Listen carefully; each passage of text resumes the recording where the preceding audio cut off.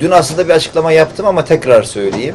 Milli Eğitim Bakanı Ömer Dinçer sansür iddialarının bakanlığın kitap değerlendirme sistemini değiştirmesiyle ilgili olduğunu söyledi. Bakan Dinçer, orta öğretim öğrencilerine tavsiye edilen 100 temel eser arasında yer alan Şeker Portakalı ile Fareler ve İnsan adlı kitaplarının sakıncalı olduğuna ilişkin olarak şikayetler geldiğini ancak herhangi bir işlem yapılmadığını ve değişen bir şeyin olmadığını söyledi. Fareler ve insanlarla ilgili kitap hakkında İzmir İl Müdürlüğü yapılan şikayeti bize aktarmıştır. Şeker portakalı ile ilgili şikayeti okul müdürüne aktarmıştır. Okul müdürü öğretmenden bilgiyi aldıktan sonra herhangi bir işlem yapmamıştır. Bir dizi ziyaret ve açılışlara katılmak için Adana'ya gelen Milli Eğitim Bakanı Ömer Dinçer, Adana Valisi Hüseyin Avni Coş'a gerçekleştirdiği ziyarette gazetecilerin fareler ve insan ile şeker portakalı kitaplarına ilişkin tartışmalarla ilgili sorularına yanıt verdi. Bakan Dinçer, kamuoyunda işin aslını aslarını araştırmadan yapılan tartışmaların hem kendilerini üzdüğünü hem de bu tartışmayı yapanlara itibar kaybettirdiğini dile getirdi.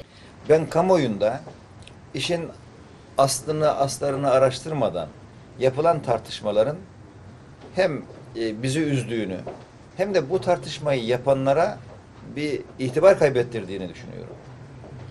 Hem e, Şeker Portakalı kitabımızla alakalı hem de fareler ve insanlarla alakalı e, bir, bakanlığımızın yaptığı herhangi bir işlem yok. Sansür iddialarının bakanlığın kitap değerlendirme sistemini değiştirmesinin hemen ardından çıkmasını da çok manidar bulduklarına işaret eden Milli Eğitim Bakanı Ömer Dinçer, bütün bu tartışmalar Talim Terbiye Kurulu'nda kitap inceleme ve değerlendirme sürecini değiştirmemizle başladı. Acaba tam bu süreçte sansürle ilgili tartışmaların yapılması ve Milli Eğitim Bakanlığı'nın bunun üzerinden yıpratılmaya çalışılması sizce tesadüf mü? Sadece bu kadar soruyorum. Bana göre çok anlamlı bir süreçten geçiyoruz şeklinde konuştu. Yani yine birileri benzer şeyleri gündeme getirebilirler. Ben sadece sizlerin ve kamuoyunun dikkatine bir hususu söylemek istiyorum. O da şu. Bütün bu tartışmalar bizim Talim Terbiye Kurulu'nda kitap inceleme ve değerleme sürecini değiştirmemizle başladı.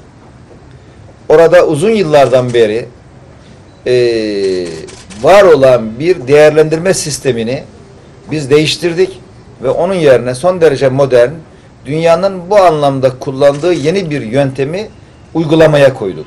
Adana'da eğitim altyapısı ile ilgili bazı sorunlar bulunduğunu ve bu sorunların farkında olduklarını ifade eden Dinçer, geçen yıl bu sorunların aşılması için Adana'yı stratejik öncelik taşıyan iller tanımlaması içine aldıklarını ve bütçe kaynaklarından iki misline varacak oranda kaynak aktarımı yaptıklarını hatırlattı. Bu yılda benzer bir yaklaşımla ildeki sorunları çözmeye çalışacaklarını, bunun için toplantılar yapacaklarını söyledi.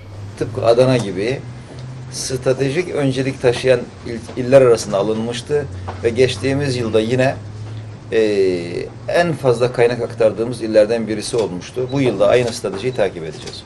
Şanlıurfa'nın Siverek ilçesinde bir sınıfta 133 öğrencinin eğitim gördüğü yönündeki haberin sorulması üzerine ise Bakan Dinçer, Şanlıurfa'nın eğitim altyapısı sorunlarının bulunduğu en fazla illerden biri olduğunu belirterek, belirtilen olay tekil bir hadise. Şanlıurfa'da derslik başına öğrenci sayımız çok yüksek. Derslik başına öğrencinin fazla olduğu okullarda geçici olarak prefabrik derslikler yapacağız. Bu süreç süratle tamamlanacak. Bunun için zamana ihtiyacımız var diye konuştu.